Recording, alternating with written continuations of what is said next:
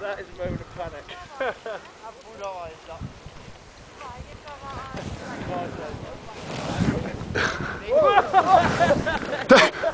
They spray me, I've got the camera out.